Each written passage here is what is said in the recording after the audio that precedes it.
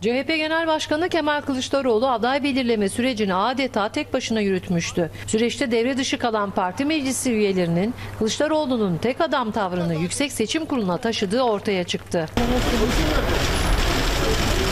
CHP'nin aday belirleme süreci çok sancılı geçmişti. Kavgalar ve istifalar birbirini izledi. Birçok isim CHP'den istifa ederek DSP'den aday oldu. Başta Genel Başkan Kemal Kılıçdaroğlu olmak üzere parti yönetimine karşı büyük bir öfke ortaya çıktı.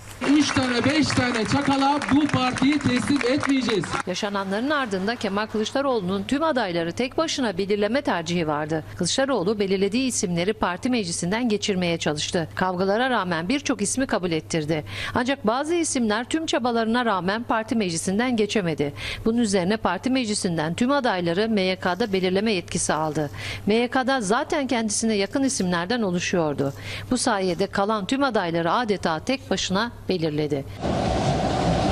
Parti meclisi üyeleri ortaya çıkan listelere tepki gösterdi. İmza toplayıp olağanüstü bir parti meclis toplantısı istedi ancak Kılıçdaroğlu adeta dalga geçer gibi toplantı tarihi olarak listelerin YSK'ya verilmesinden bir hafta sonrasını belirledi.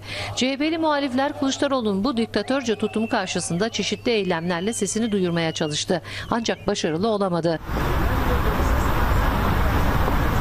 Star gazetesinin haberine göre muhalifler son çare olarak aday listelerinin birçoğunu YSK'da itiraz etti.